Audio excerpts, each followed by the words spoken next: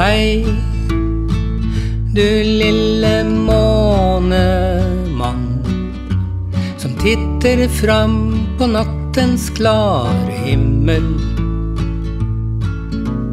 Vi vet jo alle at du er litt full iblant.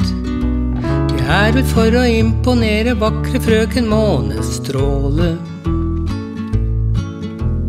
Hele himmelens stjerne her følger med på alt som er der ute.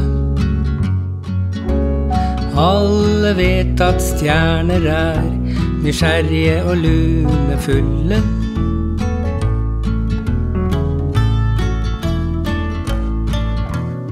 Hei, du lille solskinnsdag titter gjennom glasset i mitt vindu. Jeg ligger her og nyter deg i lange drag. For jeg har ikke sett deg på så lenge. Her gråvær og herr tåkedott har vært her ganske lenge nå, en uke. Men nå står du og skinner på min rute.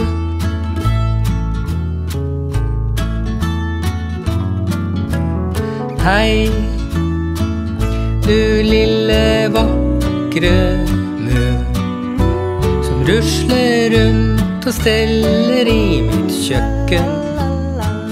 Det lukter nykokt kaffe og hjembakt brød. Det er jo akkurat det som jeg trenger. Dagen lover vakkert vær. Kom og se hvor fint det er der ute.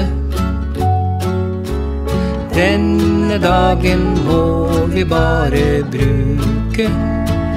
Det blir en fin dag i dag. Vi går en tur i parken. For jeg skal risse navnet vårt i barken. Det blir en fin dag i dag. Bli med meg, vi går en tur i parken. For jeg skal risse navnet vårt i barken.